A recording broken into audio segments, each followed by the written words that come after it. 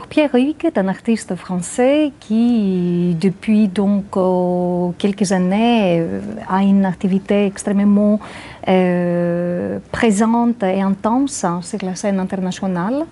C'est quelqu'un en fait qui a su dépasser le cadre strict formel de l'art hein, afin de susciter des situations euh, où, euh, d'une certaine façon, les spectateurs hein, n'agissent pas tant que spectateurs, mais comme témoins des situations qui ne sont pas, euh, qui ne les sont pas destinées. qui, en fait, il participe d'un mouvement général hein, qui a été accentué fortement toutes ces dernières années. Et ce mouvement général, on peut l'observer tout autant dans l'art hein, que dans les discours des sciences humaines, par exemple, ou encore dans les discours scientifiques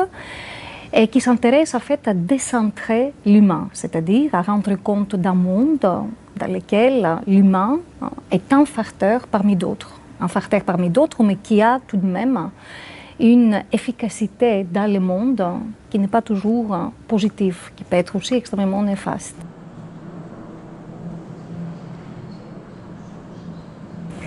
Ce film, qui n'a pas donc de titre, mais seulement entre parenthèses Human Mask, donc le masque humain, est un film qu'il a fait après la double catastrophe de Fukushima. Ceci a donc provoqué la désertification de la ville. Et donc Pierre Huyghe, il, est allé, il s'est rendu lui-même dans une ville désormais déserte, en, en utilisant d'abord un drone, un drone qui a euh, donc filmé d'une altitude pas très très haute, en fait, assez basse, la ville abandonnée. Et puis, il y a un changement de décor de ces mondes abandonnés, de ces mondes dévastés, on se trouve dans un intérieur.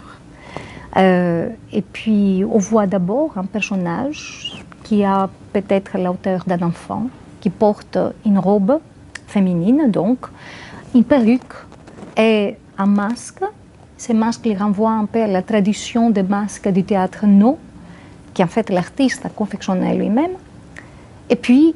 peu après, on se rend compte que cet être qui se meut dans l'espace lève donc sa main, et c'est une main animale. Une main donc, c'est le pelage d'un singe, et puis effectivement, on est confirmé peu après qu'il s'agit d'un petit singe qui est donc contraint en quelque sorte par l'artiste à l'humanisation à travers donc euh, les vêtements, à travers ces prothèses proprement humaines que sont donc la robe et le masque. Pendant 19 minutes, c'est-à-dire un temps extraordinairement dilaté par rapport au temps qui a été donné au drone pour filmer la ville dévastée, nous sommes appelés